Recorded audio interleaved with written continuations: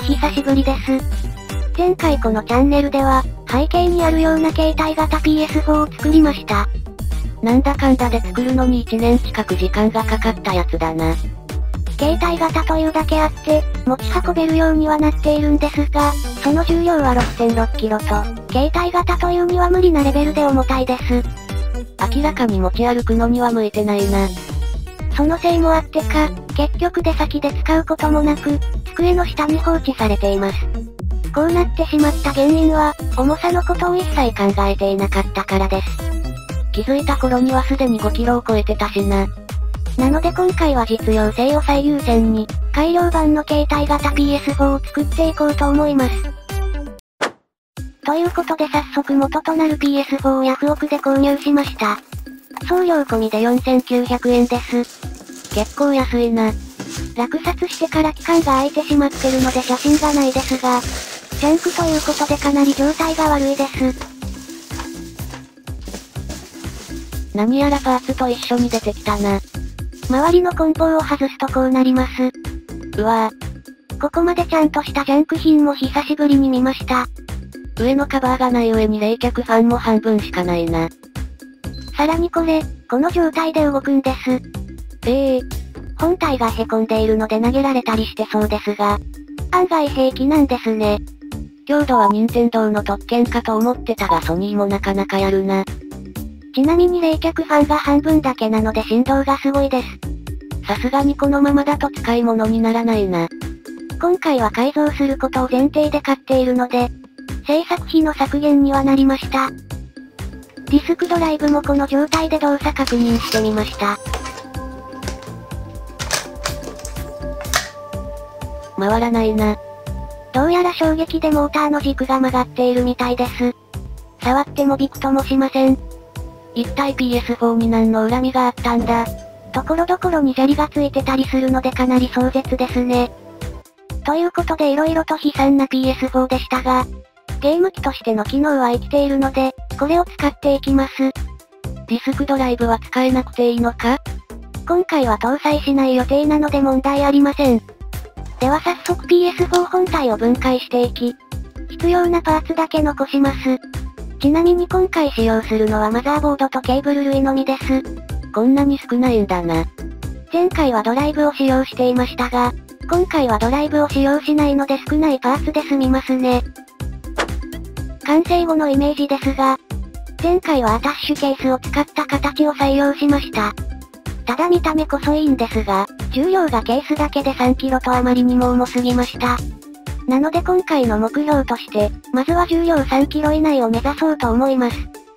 完成後のイメージとしては、前回没になった案をもとに、修正を加えてこんな感じにしていこうと思います。前のダサいデザインよりは良くなったな。本体の素材も比較的軽いものを使うので、軽量化も容易にできると思います。ということで、まずは PS4 を動かすための制御回路を作っていきます。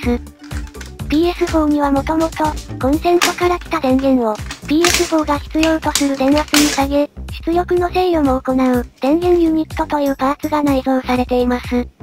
ノートパソコンでいう AC アダプターみたいなものだな。通常であればこのパーツで PS4 を動かすんですが、今回のように携帯型にする場合は、電源にバッテリーを使うのでこのパーツを使うことができません。電源ユニットの役割の一つが交流から直流への変換です。基本的に電子回路を動かすのには直流の電源が必要になるから、ここでコンセントの交流電源を直流電源に変換するんだな。PS4 の場合は 12V と 5V の2種類の直流電源を使います。そして2つ目の役割が出力の制御です。PS4 にはメインとサブの2つの電源があり、通常はサブ電源のみ供給されています。ここで本体の電源ボタンが押されると、メイン電源が出力されて、PS4 が起動します。これが電源ユニットの大まかな役割です。さて、ここまでの動作は電源が交流だったので問題なく機能していましたが、先ほども言ったように今回は電源にバッテリーを使います。サブ電源が出力されなくなったな。ここで問題になるのがバッテリーは直流電源だということです。電源ユニットは交流から直流への変換をするパーツだから、直流から直流への変換はできないんだな。なのでバッテリーを使う場合は電源ユニットを使うことができません。そこで電源ユニットと同じ役割をする制御回路を作りました。これでサブ電源が供給され、電源ボタンを押すことで、PS4 が起動できるようになると思います。早速マザーボードと接続して、動作確認をしていきます。ちなみに本体冷却用のクーラーはサイズ製のものを使っています。前回のインテル純正のクーラーよりは冷えそうだな。ということで問題なく起動できそうですね。2回目の制作なだけあってすんなり起動したな。より詳しい回路の説明が必要な場合は前回の動画をご参照ください。この状態でしばらくゲームをやってみました。CPU クーラーも触れる程度の温度でとどまっているので、このまま組み立てて問題なさそうです。ついでに本体のストレージもハードディスクから SSD に換装しておきました。これで持ち運べるようになったな。ちなみにここで不要になった電源ユニットは、ヤフオクで売却して制作費の足しにしました。実質 PS4 は1300円で手に入ったことになります。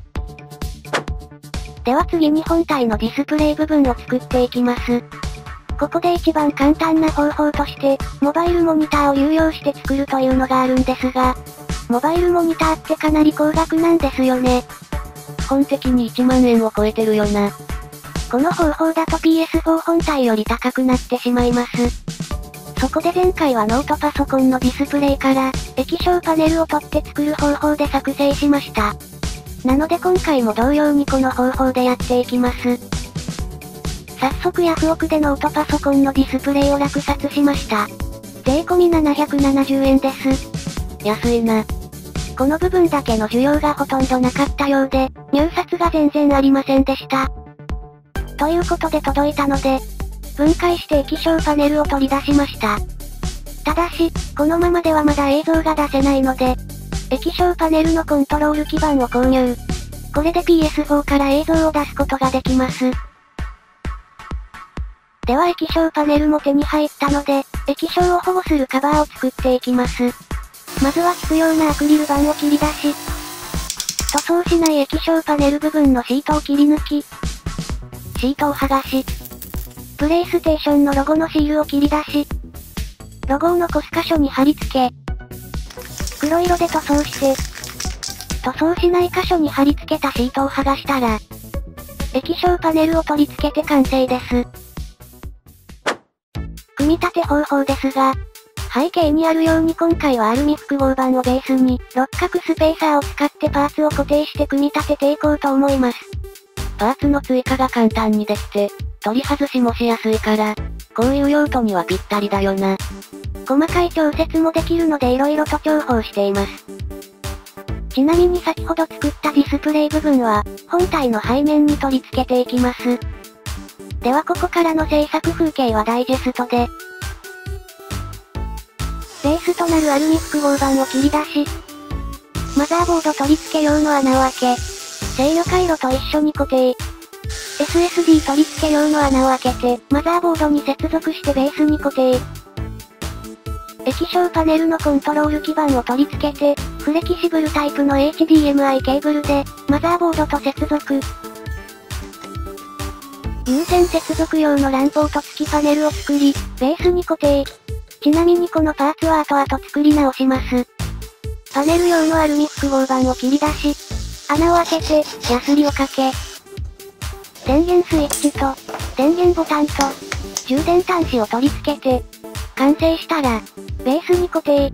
本体を持ちやすくするために、ホームセンターで売っていた金属製の持ち手を、ベースに固定。ノートパソコンのバッテリーからリチウムイオン電池を取り出し、専用のバッテリーホルダーに入れ、タブを溶接し、バッテリー保護基板を取り付けて、バッテリーパックが完成したら、ベースに両面テープで固定。サブ基板の電源ボタンにケーブルをハンダ付けし、先ほど作った左パネルの電源ボタンと並列に接続して、ベースに固定。これで外付けのボタンで電源が入れられるようになりました。ちなみにこのメーターは後々別の場所に取り付けます。ヤフオクで購入したノートパソコン用のスピーカーを、ベースに固定。これは前回と同じ NEC 製のノートパソコンのものです。取り付けたスピーカー用のアンプと、アンプ用に電圧を下げる DC-DC コンバータを、マザーボードに固定。ここで一度動作確認をしようとしたところ、突然電源が入らなくなってしまったので、制御回路を新しく作って交換。そして動作確認。今のところ問題なくバッテリーで動いています。かなり完成に近づいてきたな。先ほど作った右パネルを取り外し、新しくアルミ複合板を切り出して、穴を開けて拡張し、ランポートの穴が完成。同様に穴を開けていき、作っておいた電源プラグのコネクタを、パネルに取り付けて、電源プラグの差し込み口が完成。形に合わせて穴を開けていき、ニッパで周りを切り、切り取った箇所を外して、ヤスリをかけ、ほどマザーボードに付けていたメーターを取り付けて、右パネルが完成したらベースに固定。ここの電源プラグの差し込み口は、AC アダプターを接続して据え置きモードで使用するためのものです。ちなみに携帯モードと据え置きモードは、左パネルのスイッチで切り替えることができます。本体のバッテリーパックを充電するために、出力を制限した DC-DC コンバーターを、ほど取り付けた充電端子を入力側に、バッテリーパックを出力側に接続して、ベースに固定。接続のイメージとしてはこんな感じです。マザーボードがベースの中心にあって、現状今のままでは USB ポートが使えないので、USB ハブを購入し、分解してケースから基板を取り出して、六角スペーサーでベースに固定。これで USB ポートを使うことができます。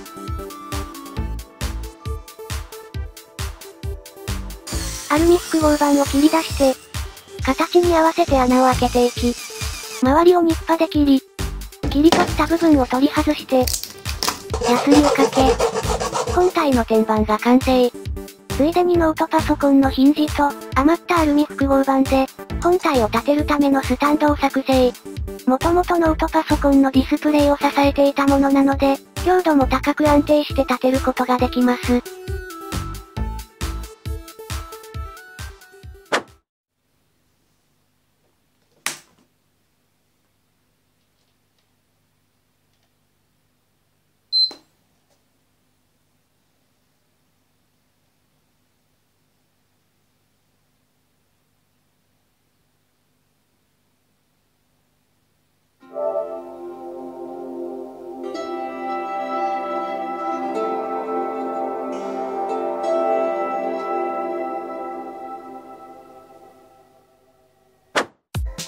ことで無事に本体が完成したので、各部の紹介をしていきます。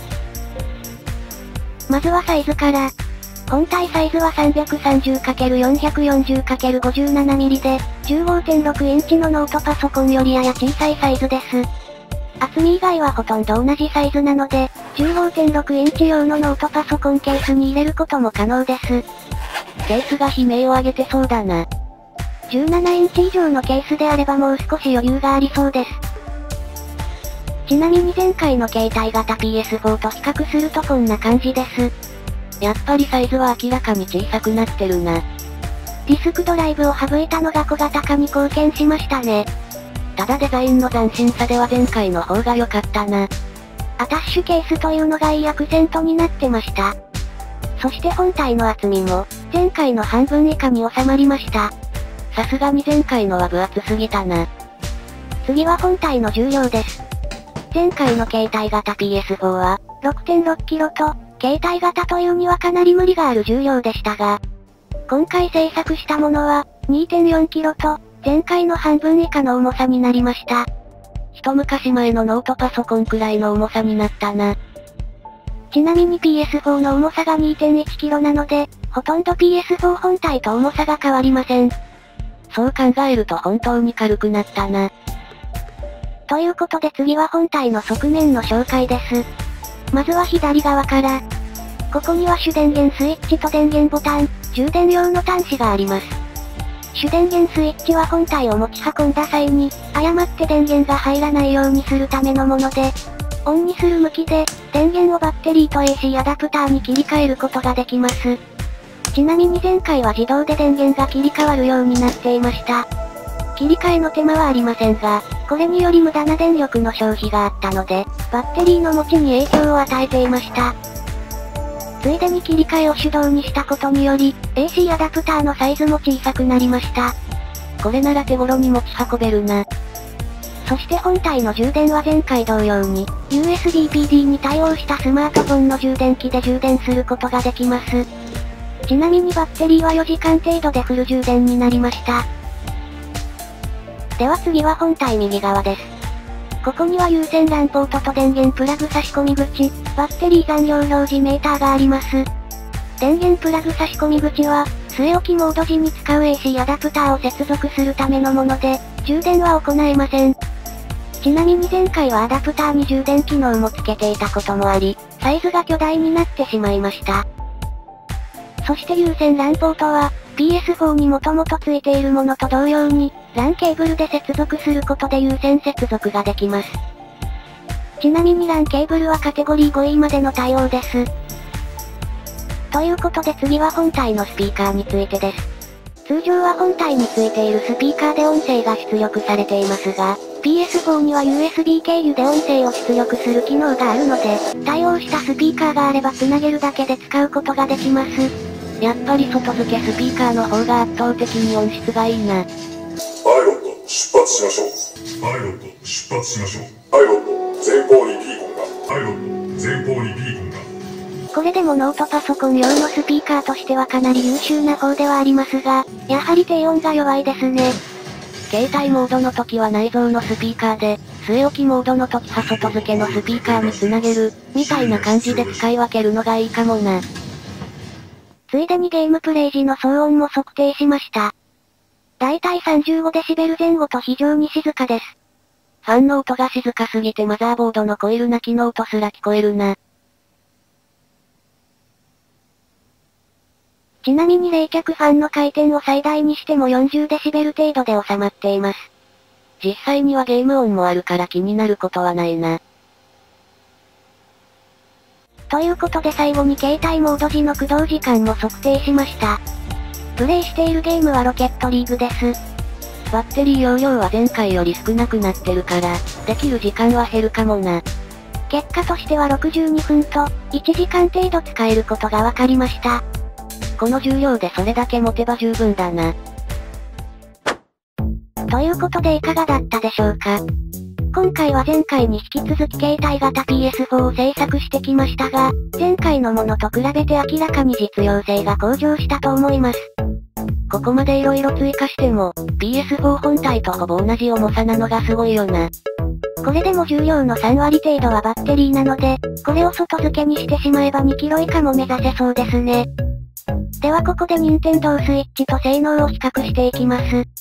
本体の性能を単純に比較すると、携帯型 PS4 は12倍程度の性能があることになりますが、重量が異なるのでこのまま比較するのは不適切です。そこで重量 1kg あたりの性能を比較してみました。